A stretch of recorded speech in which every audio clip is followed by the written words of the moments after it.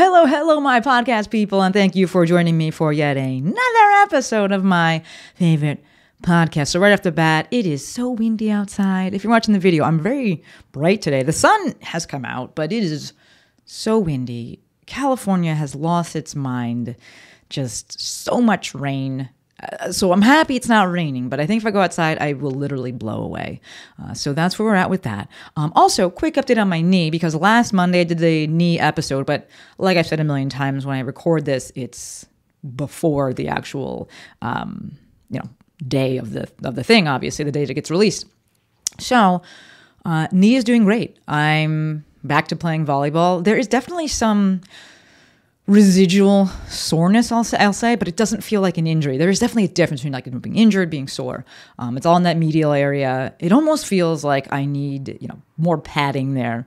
Um, it feels more osseous, if you will, more bone related than anything. I don't feel any instability or anything like that. So I'm just going to keep working to increase the capacity, increasing the strength, um, increasing the loading capacity, the tissue tolerance there, and so that's the update on that. But let's hop into today's episode. We're talking about how to switch your niche. Yes, we're saying niche because it rhymes. If you want to say niche, that's fine. Uh, I was asked this specific question How do I switch my niche?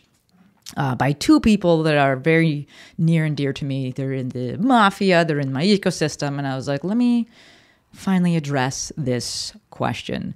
Um, so, spoiler, like the answer is that you just have to do it. Um, but I will go into some more tactical steps during this episode. And I also want to talk about how to pick your niche in the first place and when you should switch. There's never like necessarily a super perfect time, but I think there are more like ideal circumstances um, and things that you can do to kind of set yourself up to make that switch easier. So we're going to go into that. Of note, to me, niching down is about learning your no, meaning you're likely going to go through different iterations of things. And I want you to experiment. That sounds like kind of weird, like a parent, and like, I want you to experiment. I do. I want you to try different things and understand that you will learn your no as you go. Also, as a side, Your niche is the problem that you solve. It's not necessarily who you solve it for. Inherently, you're going to exclude some people by saying, This is the problem that I solve. But people tend to go real deep with like the demographics, demo, that sounded weird, the demographic of, of who they're serving. What I really want to be focused on is the problem that you solve. Uh, but yes, we'll, yes, we'll leave it at that. Um, the, the big point that I want to, that I want to get out here is that you will learn your no as you go. So I want you to do the thing be okay switching, uh, but understanding that the more specific and intentional we are with things from the get go, the easier it will be to make those subsequent switches. And we can honestly use the experience and the skills that we gain in our initial niches um, to help us out with moving forward and, and whatever we decide to, to do and whatever we decide to move into. So let's get into tactical stuff. Tactically, as it relates to switching your niche, like I said earlier, you just got to rip the band aid, you just have to do the thing. If you want to make an announcement about it, I'm all for that, just to give some clarity to your audience and being like, hey, I'm not talking about this anymore. This is what we're going to be doing moving forward. Um, understand that not, not everyone's going to go with you, and that's okay.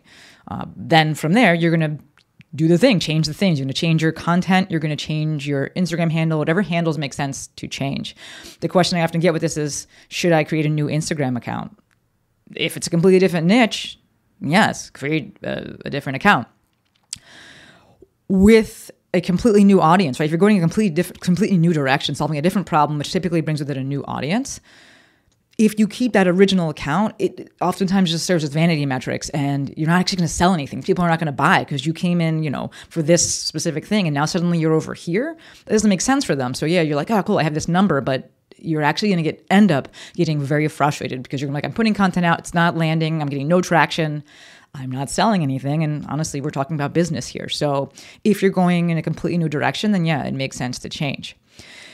If you are solving a different problem, but it's for the same audience, then it can make sense to stay with that same account that you had before. This is what I did, right? So I've always gone B2B. I inadvertently started going B2B, right? Business to business. I was putting out content that was resonating with other physical therapists.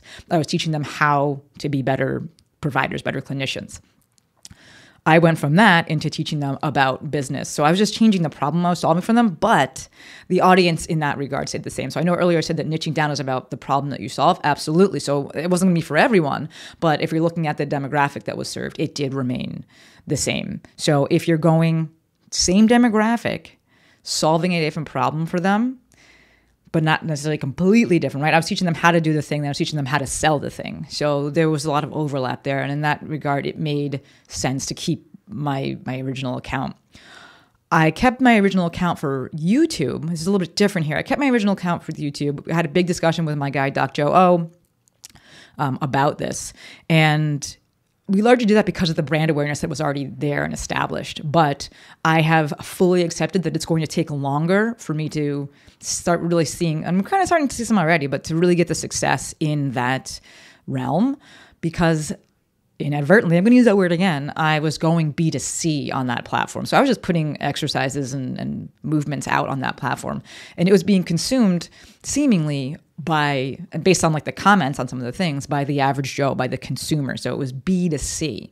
Now i'm 100% putting the same stuff that i have on instagram. I'm putting the all my business content out in there. We're going b to b and that's a different audience. So we kept it the same but i also understand that that's going to be turning the titanic there feeding new things and then waiting for the algorithm to serve it to the right people um, so that it's like yeah okay i understand who you serve and you know what you're doing.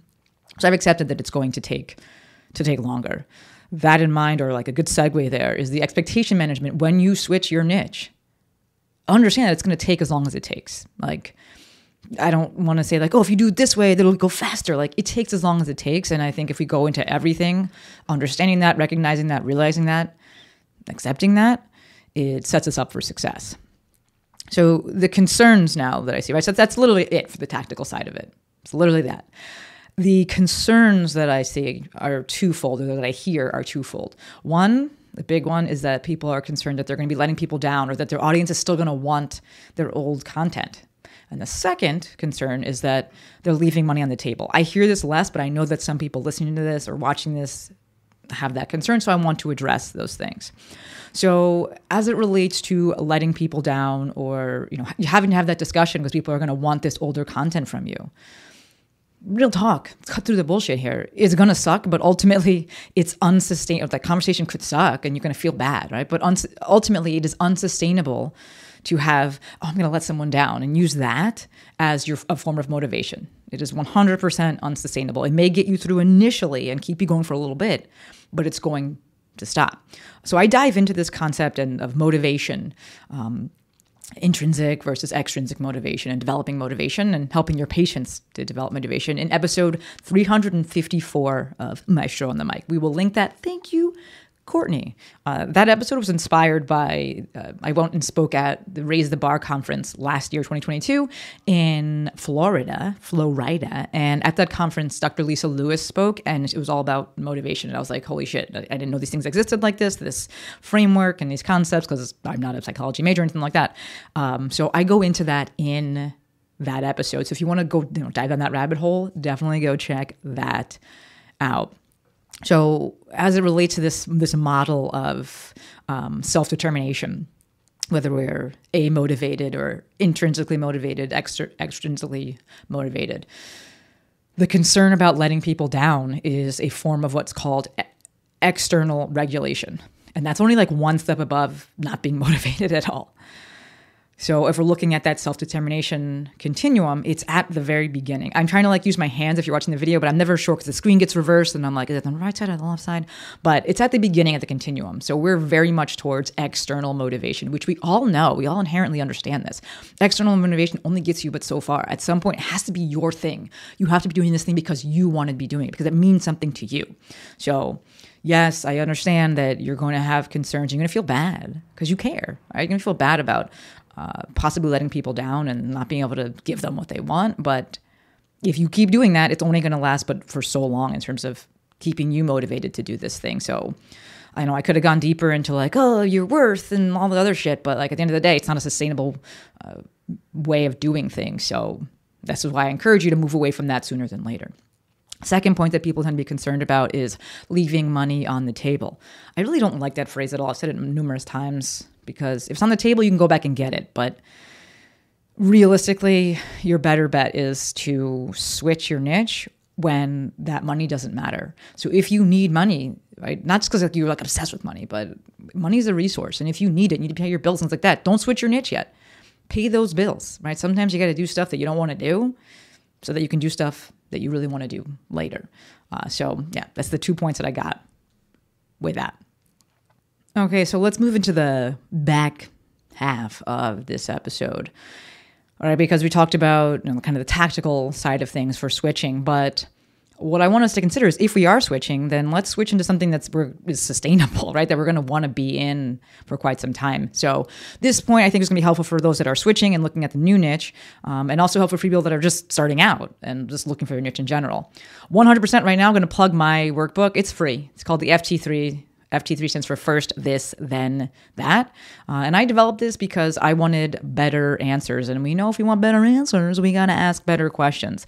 The drills that I saw people doing down, doing down, the drills that I saw people using to help folks niche down they just were too nebulous. They weren't asking enough questions. And so I was like, well, I'm going to create a worksheet, create a workbook that asks more questions. So this thing has 41 questions in it. It's designed to help you understand and identify the problem that you solve, the problem that you're the best at solving, who you're solving it for, and kind of give you like an, an overall granular approach of what are you currently doing versus what do you want to be doing and you know what makes sense for you to lean into like I said, it's 100% free. If you go to themovementmaestro.com forward slash FT3, it'll take you right to the landing page where you can put your information in. Or you can go to the show notes, themovementmaestro.com forward slash 443, which is this episode number. Your choice. Um, everything's linked in the in the show notes though. So at least on Apple. I don't I don't I don't have Spotify. I'm old and I don't like change and I just I never got into Spotify, but it definitely is all there on Apple. And if you're like, it's not there on uh, Spotify. Okay, sorry. Uh, you go ahead to head to the um, the actual page on the on the interwebs, and that's themovementmaestro.com forward slash four four three. So, as it relates to picking your niche, whether we're moving into a new one or or we're just starting out, understand that I've said it a million times. I, I, borrowed this from Danny Matta. Businesses are built on solutions to problems, and people want to pay people who they believe can solve their problems. AKA, they want to solve experts, people with a track record, or people who have demonstrated that, yeah, I have proficiency with this. To that end, if you're picking your niche, it's easier to go with something that you have established expertise in. But if you're like, man, but I'm trying to switch away from that, totally fine. Just accept that this will grow slower as a business because you haven't demonstrated your proficiency, your expertise yet. People don't trust you yet. They don't believe that you can do the thing yet. Perfect example would be if I'm like, hey, I want to switch my niche and I want to go into coaching volleyball or you know doing volleyball stuff on the interwebs and on social media. Now, there's a little bit of a caveat here in that I am the movement maestro, so I have an audience that knows that I understand movement inherently, so I have that leg up. But if I was to just like start from scratch, right? So I didn't have the movement maestro behind me. I was just starting out. I don't know that much about volleyball. Like I am, I've only been playing since 2020. So if I was going to switch my niche, I have to understand that this is going to grow slowly because my ability to demonstrate my expertise, my ability to actually solve problems for people is is fledgling. It's very young. It's very, you know, it's it's in its infancy. So if that's where you're at and you're switching into a niche that you're like, well, I'm just learning about this thing as I go. Okay, but it's going to grow very slowly. That line that's out there about you don't have to be like one step ahead of your clients or customers is is a lie. You got to be like 50 steps ahead of them. You got to be able to answer their questions. And if if me saying this makes you feel like insecure, I when you take a step back and just say, cool, I have more to go. I have more room to grow. I have more to learn and more experience to gain. And that's an awesome place to be at as well. Right? I just don't want to be blowing smoke and being like, oh, you just got to be fi- one step ahead and you'll be fine. No, you got to be 50 steps ahead. That's when people are going to be like, yeah, I go to that person. I know that they got me. I know that they can solve my problems. I know that they can answer my questions and, and I trust them. Okay. All right. So that is the how to switch and know, how to identify your niche if you are switching. Second part is when should you switch? Now, again, I don't think there's like a necessarily a perfect time for this, but like I said earlier, uh, in relation to the people's concerns about leaving money on the table, I do think that switching your niche, we should perhaps wait until it makes sense financially. So yeah, you got to know your numbers. Y'all already know. Anytime I bring up numbers, I plug my my my woman, my girl, um, Sandi She's my CPA. She is Fit Money Coach on Instagram. We'll link that. Um, learn your stuff, learn your numbers, get a, a, understand how much you need to be making and when it actually is okay and safe for you to switch, so you're not operating from a place of of urgency. Like I said before, sometimes you got to do stuff that you don't really love, but maybe you're good at and comes easily, and you have proficiency and you have you know ability to make money, so that you can ultimately do the things that you love. Outside of that, I, again, I don't think there's necessarily a perfect time to switch. Um, you just kind of got to rip the band-aid. I will, however, say use any assists, any you know alley oops that are tossed up there that may come your way. For me, that was COVID. So y'all know, or if you're new to the podcast, you don't know, but um, you may not know. But if you've been following me, my OGs, I started off. I'm a physical therapist. I started off providing movement content for other movement professionals. My first post was September 24th, 2014. I switched and went all in on business in 2020 it wasn't that long ago, folks. Maybe you're like, oh wait, that was before then. No, I was doing things in the behind the scenes, so I didn't like bring this content front facing and be like, I have no idea what I'm doing. I have been doing business stuff behind the scenes and helping people, and knew I had proficiency with this for years. But I didn't switch the forward facing content and truly like switch my niche and the problem I was solving for this demographic until 2020.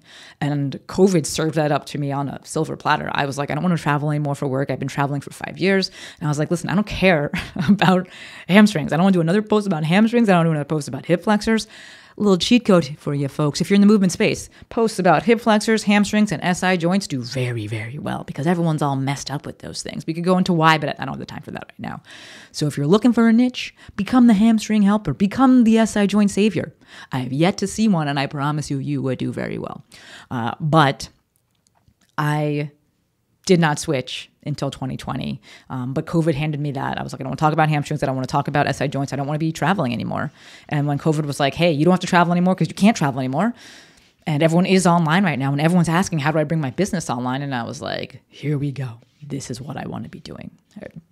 Understand, I said this before, I'm going to bring it back. Not everyone is going to come with you. Not everyone's going to move with you when you pivot. And that's okay.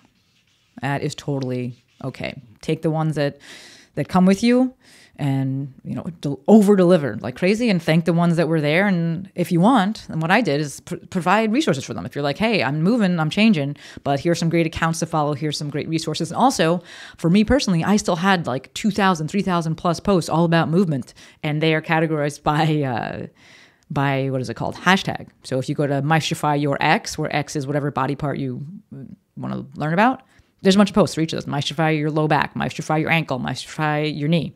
Bunch of posts. So I'm like, they're still there if you want them, but you'd be best served by following and learning from people that are still in it and really, really passionate about it. Okay. I'm looking at my notes here and I'm like, but I think that's it. I'm really passionate about this one. Um, also, I'm standing, and I, I, do definitely speak better and faster when I'm standing. So maybe we'll continue with this. And I'm sorry if that means that you can no longer listen to me on 1.2 or 1.25, whatever it is, times speed. Apologies. But there you have it. That is, in my humble opinion, how to switch your niche. Ultimately, it is about ripping that band-aid off. There's never necessarily a perfect time. If you if the universe does serve you a little alley oop, make sure that you take it boom shakalaka. What is that reference? If you know that reference, shoot me a DM, shoot me a text 310-737-2345. What is that from? Boom shakalaka. He's heating up. I'm showing my age. Uh, but hopefully, this episode helps you with either identifying your niche if you're getting started or identifying the direction you want to go in if you are switching that niche, kind of how to time that, uh, and subsequently, hopefully, ensuring that the new niche that you have moved into is not something that you're going to want to leave immediately. All right, that's all I got for you. As always, endlessly appreciative for every single one of you. Until next time, friends, Maestro out.